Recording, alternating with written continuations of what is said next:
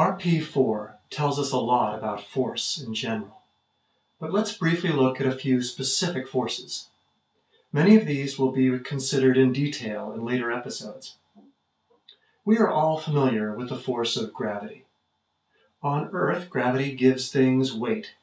It is a force, measured in newtons, as are all forces, that is directed downward. This force meter is now measuring the force of gravity on the one kilogram mass.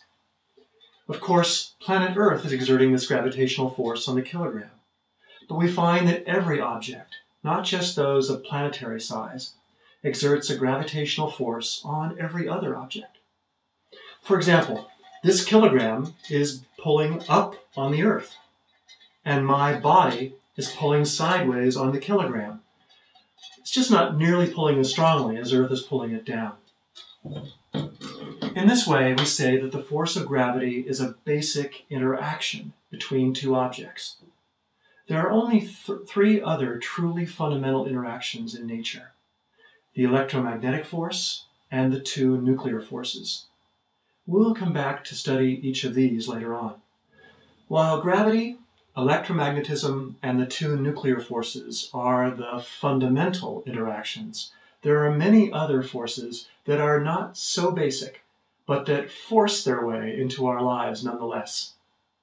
In the end, we will see that these are the everyday manifestations of one or more of the four fundamental forces.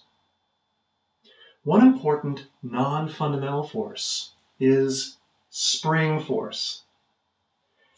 When springs are compressed, they push back, and when they are stretched, they pull back. Many, many things exert force in this way, at least approximately. Consider this balloon. When I compress it, the air inside pushes back, and when I stretch it, the rubber sheath pulls back. The springiness is in the molecules of air and in the molecules of rubber.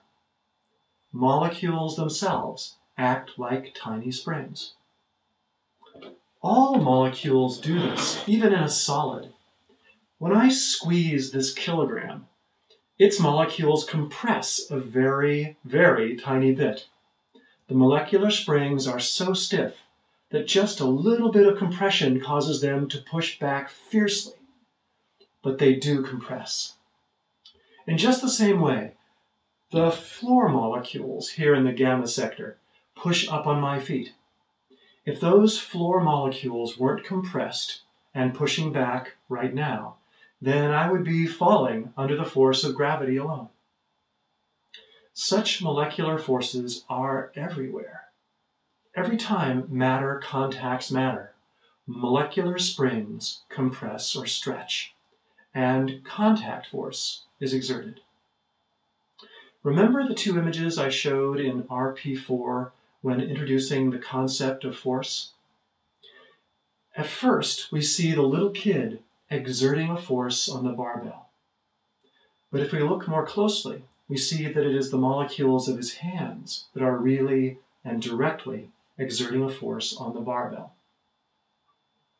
Sure, his muscles and bones are exerting forces too, but not directly on the barbell. The simplest of human actions can involve a myriad of forces.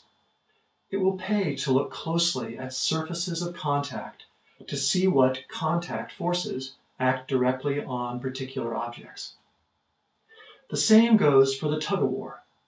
At first, we just see the men's muscles at work, but the real force on the rope is at the surface of their hands. There, molecules of flesh are stretched like tiny springs. Again, we see that molecular springs are exerting a kind of contact force. This kind of stretching contact force is so common and so useful that we give it a special name, tension. Muscle fibers exert a tension force. Flesh molecules exert a tension force sometimes. And even the rope itself, we say, is under tension.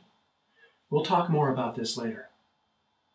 The point is that contact forces come from mo molecules acting like tiny springs. Keep that in mind as you wonder why physicists are so fond of studying springs. springs are all around us. So far, we've named just three non fundamental forces the spring force and its two cousins, contact force and tension. There are plenty of others. Friction, air resistance, and buoyancy are three that radical physics explores later on. The key point now is to see that there are various types of forces, and will, we will measure them all in newtons. Further, we've got to see that inanimate objects can exert forces. In fact, since all animate, that is, living things, are made of non living things, atoms in particular, perhaps it's best to say that all forces are ultimately exerted by inanimate objects. One thing that's good about physics is that it transcends life. It is about life and more. We do not need to distinguish living processes from non living ones, because the laws of physics apply to all matter, living and non living. So, a force, maybe even the force of science fiction fame, is only a push or a pull, measured in newtons, no matter whether its source is living or not, or even a Jedi. May the force be with you, all forces.